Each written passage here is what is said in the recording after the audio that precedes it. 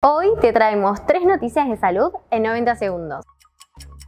Vamos con la primera. ¿Conoces las consecuencias de los vapeadores, o mejor conocidos como los cigarrillos electrónicos? Investigadores de la Universidad de Harvard hicieron un proceso de investigación y llegaron a la conclusión que estos dispositivos electrónicos pueden generar síntomas parecidos a los del asma y además generan obstrucciones pulmonares de las vías respiratorias. Dice que de a 1 a 4 años se puede llegar a revertir parcialmente las consecuencias de estos cigarrillos. Vamos con la segunda. ¿Sabías que la hipertensión arterial es una de las enfermedades silenciosas más frecuentes en nuestro país? Un reciente estudio de la Universidad de Oxford determinó que al menos el 15% de los adultos mayores de 40 años sufre hipertensión arterial, sobre todo durante la noche mientras duerme. Si bien durante las horas diurnas suele bajar la hipertensión arterial, con algunos pacientes sucede lo contrario. ¿Qué dicen los expertos? Que se debe hacer un control 24 horas para así evitar en el futuro este tipo de enfermedad. Cerramos esta ronda de noticias con esta tercera investigación porque se descubrió que tener una dieta balanceada ayuda a disminuir problemas cognitivos. ¿Qué es lo que dicen los expertos?